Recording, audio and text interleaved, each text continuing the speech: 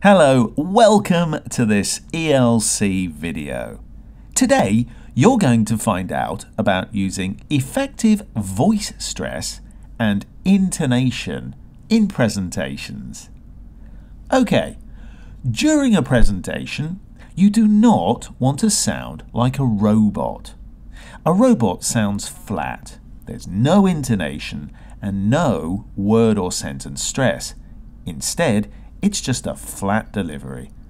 My name is Roger the Robot, and in this presentation, I'm going to talk about drug problems among teenagers in Hong Kong and related solutions.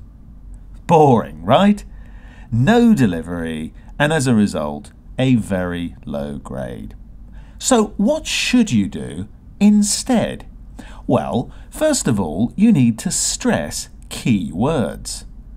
My name is Roger the Robot, and in this presentation, I'm going to talk about drug problems among teenagers in Hong Kong and related solutions.